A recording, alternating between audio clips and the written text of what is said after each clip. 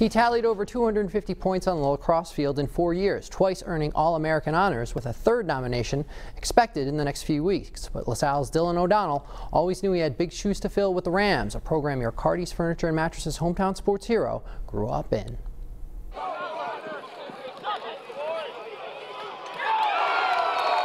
He closed out his All-American career with LaSalle's sixth straight state Division I title. Dylan O'Donnell outdoing his three cousins, who helped create the foundation for the Rams lacrosse dynasty. When I was little, I just kind of always looked looked up to them and wanted to be like them, be the one uh, out there making plays out here and winning championships like them. So it's a great feeling to be able to come to LaSalle and uh, win four championships, and uh, especially with my uncle as a coach, it's, it's been a great ride. I'm just thankful for all of it. O'Donnell's success not limited to the lacrosse field. The attackman earning LaSalle's Principals Award for his work in the classroom. He's a leader, and not just on the field. Academically, he does what he does. He's 102.7 adjusted GPA.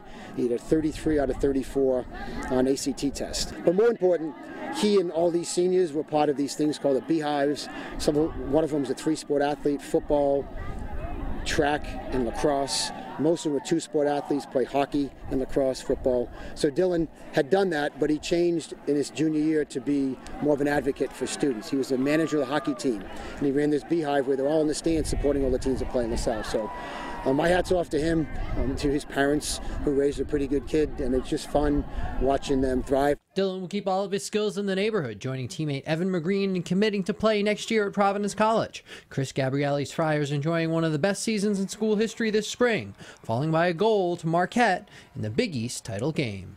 They were kind of my first choice the whole time, pretty much. Right when I committed as a sophomore, uh, I love the campus, love the coaches, and uh, really love the close proximity to home. My parents and everyone could come to the games, and at Providence College. I've always been a fan of the Friars, so it's great to be able to go there and uh, represent them next year. He's going to have to hit the weight room. He's going to let his body adjust to that. But I think because he's so intelligent, he's also a very intelligent lacrosse player. He has great IQ, so he knows how to play.